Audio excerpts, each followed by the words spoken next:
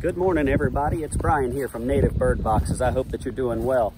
Real quick, I just want to go over something with you in uh, terms of planting pine trees to try to help the other established areas, either in a location where it was totally void pine trees or uh, in a location where you want to enhance more pine trees, maybe that have been at loss from pine boring beetles, which will be a topic of discussion, or maybe a storm. So how did the pine boring beetles get there? What was a damage sequencing of some of the pine trees? Well, very easily it could have been from a hurricane, a tornado, a lightning strike, wet feet, maybe there was mechanical damage. Uh, these are all different catalysts that can cause a pine tree to get stressed out, which then would instigate the beetles. So once the engraving beetles are able to colonize in one pine tree, then what you will find is that they will colonize that entire tree once they decimate it and kill it by deterring all of the nutrients and the water resources and the xylem and phloem layer of that tree and it dies, then they're just gonna fly on to the next tree and colonize it again. And at some point in time, yes, that cycle would stop. But whenever you have limited resources and a limited location of pine trees, the last thing that you want to do is to lose all of your pine trees. So check this out. This particular property has very few pine trees on it in regards to ones that are over 50 and 60 foot tall. But look at all of these beautiful saplings.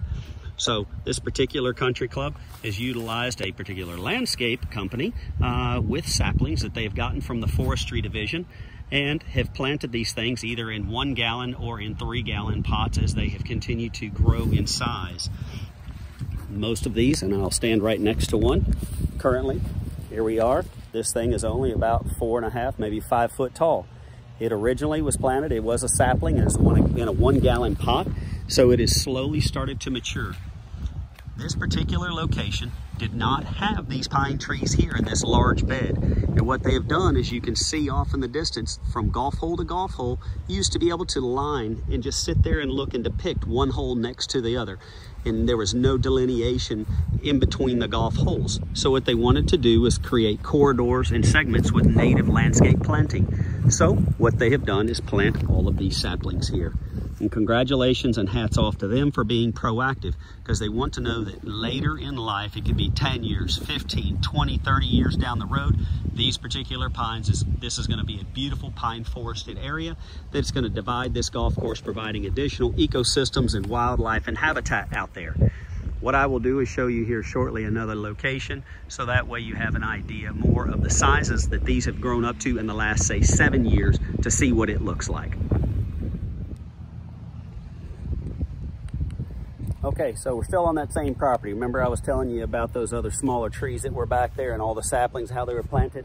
Check this out. Look at how big and beautiful these are. So respectfully, these are about six to seven years old. They started out as very small saplings. The particular company that these trees were bought from, went to the forestry division, was able to buy a bulk load of them and started the process of putting them into one gallon pots and then attritioning them all the way up to three gallon and seven gallon units before they needed to be put into the ground. To protect the investment, this particular location wants to make sure that these pine trees are going to be around for a long time. So investment of the pine boring beetle trap systems also to be able to keep on collecting the beetles to keep them at bay and at a level of sustainability for the native pine trees.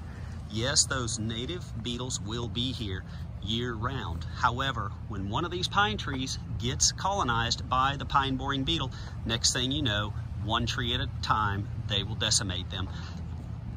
So in order to protect the investment, what they have done is installed these pine boring beetle traps, which we will help to maintain and collect then the beetles from them to make sure that the long-term investment continues and prevails.